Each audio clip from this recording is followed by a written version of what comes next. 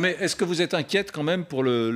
Non mais bien... bien... C'est quand même la question que je pose aujourd'hui. Est-ce qu'on est déjà en route pour un troisième reconfinement? Alors, je, pense qu'au vu euh, du manque de stratégie, il y a de fortes chances qu'on ait euh, effectivement une mise en avant du troisième confinement. Il y a deux choses qui étaient justes. La, première, sur le fait que les jeunes, effectivement, n'arrivent pas à percevoir la dangerosité en fait de ce virus, mais tout simplement parce que de manière générale, euh, les, médias, sur tous les plateaux, on a presque déshumanisé ces 50 000 morts. Moi, j'ai vu très peu de familles témoigner. J'ai vu très peu de personnes expliquer à quel point ils étaient détruits de ne pas avoir pu enterrer convenablement leurs morts. Je trouve qu'on n'a pas assez donné le micro aux personnes qui ont été voir euh, euh, des personnes à Rungis euh, parce qu'on n'avait plus de chambre mortuelle. Il faut comprendre qu'on avait, on a mis des corps à même le sol parfois tellement il n'y avait plus de place. C'était pour les, décès du première vague exactement, en Ile-de-France, exactement. qui était dans le au marché d'intérêt national de Rungis. C'est ça, exactement. Donc un peu comme, comme, comme des denrées alimentaires, on a entassé, on a entassé des, des, des corps parce qu'il n'y avait plus de chambre froide. Et donc ces traumatismes-là,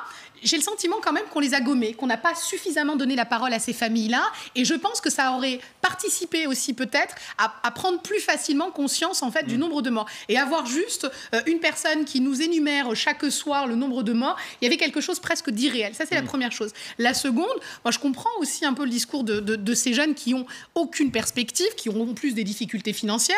Euh, le nombre de jeunes explose euh, dans euh, les associations euh, qui donnent des denrées alimentaires tellement leur vie devient exécrable. Et puis, vous savez, dans l'art de la guerre de Il y a de plus en plus de jeunes au Resto du Cœur. Mais énorme, ça explose. Enfin, vraiment, c'est sans commune mesure parce qu'il n'y a plus de petits boulots. Il n'y a, plus rien. Donc, c'est-à-dire qu'en fait, vous avez le droit à rien faire.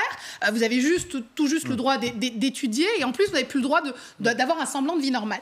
Et dans l'art de la guerre de Sansou, il explique que dans un village, vous laissez toujours une porte de sortie. Sinon, les personnes que vous avez face à vous sont tellement déterminées qu'ils n'ont plus rien à mm. perdre. Il y a un petit peu de ça, en fait, aujourd'hui avec la jeunesse. C'est-à-dire qu'il n'y a tellement aucune soupape à un mm. moment donné pour, pour avoir un semblant de vie naturelle. Et je, et, je pense que euh, la question de, euh, du secteur de la culture qu'on a euh, frappé comme s'ils étaient les responsables, en fait, du Covid ou en tout cas de la contamination, bah, participe au fait qu'on mm. on a des jeunes de plus en plus déterminés qui n'ont presque plus rien à perdre parce qu'ils sont lassés au bout de neuf mois.